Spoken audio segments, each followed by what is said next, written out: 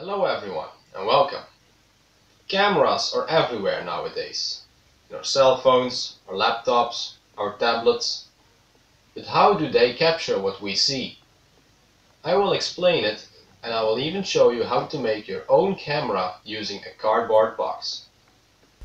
It all starts with the lens. The lens is curved to the outside or otherwise called a convex lens. Behind the lens we place a surface for the image to be projected on. In front of the lens we place our object we want to capture. In this example I will use a tree. The light from the image of the tree will pass through the lens. The lens will project the image on the surface, but it will be upside down. Very important for getting a sharp image is to get the right distance from the surface to the lens. This is called the focal length. The focal length is a unique property to each lens. If the distance is increased or decreased from the focal length, the image will get blurry. In analog cameras, the image would be projected on a light-sensitive film or optical film. The chemical film contains microscopic crystals. When the light strikes the film, it will slightly darken the areas where it strikes, depending on the intensity of the light. This is why an image from an optical tape is a negative image. The actual image is chemically developed later. To make our own camera, the first thing we need is a lens. A simple magnifying glass can be used for this. Of course, we also need a cardboard box. Mine is a cereal box.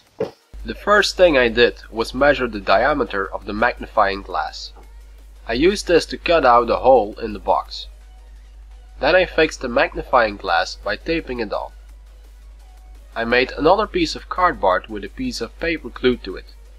This will be the projecting surface.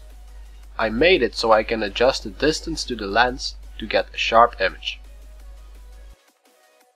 I use this desk lamp as my object. I place my camera at a distance. If we take a look inside the box, we can see the desk lamp being projected upside down. The camera works. If I modify my projecting surface and make a grid out of it, it will show the basics of a digital camera. I put the grid surface in the box and look at the projection again. The light intensity can be seen for each square of the grid. We can think of the squares as pixels in a digital camera. All the pixels make up a complete image. In a digital camera, the image is divided into pixels.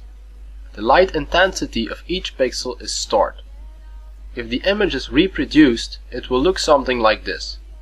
The only difference, instead of the few pixels here in this example, there will be millions of them in a real camera to create very detailed images. I hope you enjoyed this video. Feel free to leave questions and comments below. Thanks for watching.